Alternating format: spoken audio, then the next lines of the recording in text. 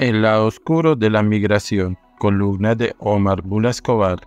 En los últimos días, la muerte de un joven a manos de la policía encendió una chispa que convirtió a Francia en un campo de batalla.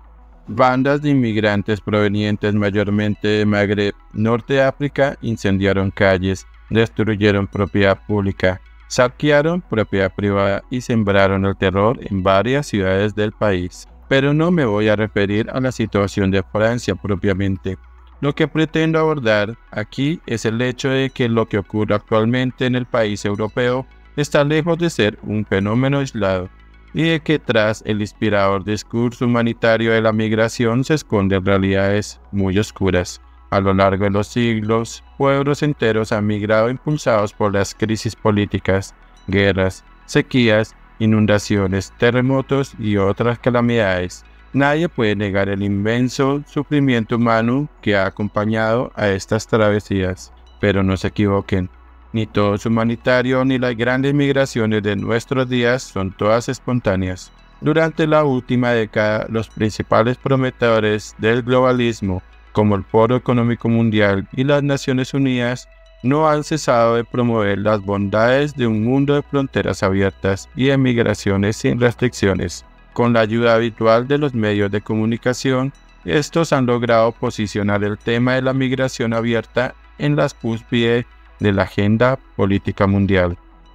En 2018 en Marruecos, la ONU presentó el llamado Pacto Global de Migración, cuyo objetivo era el de crear un marco global de cooperación en temas de migración basado en el cuestionable precepto de que la migración irrestricta es un fenómeno global positivo que impulsa el crecimiento económico, reduce desigualdades y conecta sociedades diversas.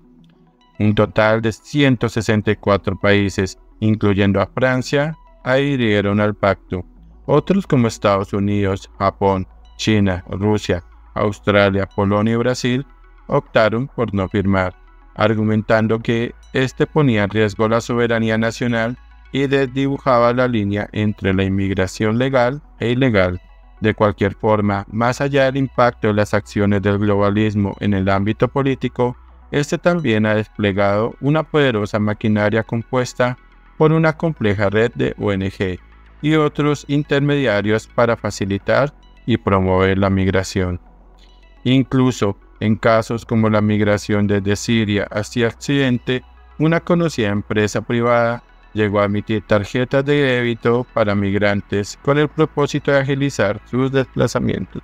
En otras palabras, ni el fenómeno migratorio ni situaciones como las que Francia enfrenta en la actualidad son fortuitos, y mucho menos sus espantosas consecuencias.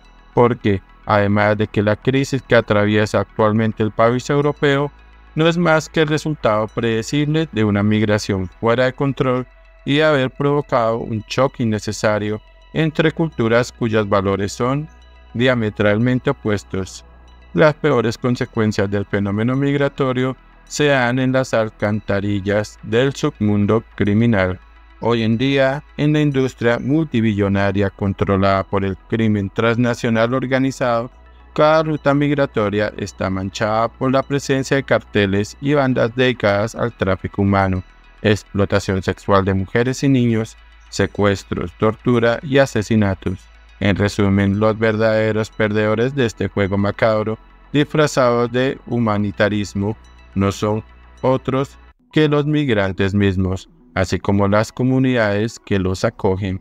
Mientras tanto, los únicos que celebran son el globalismo y el crimen organizado, los cuales convierten al migrante en mera mercancía y avanzan en sus agendas oscuras a expensas del sufrimiento de decenas de miles de seres humanos.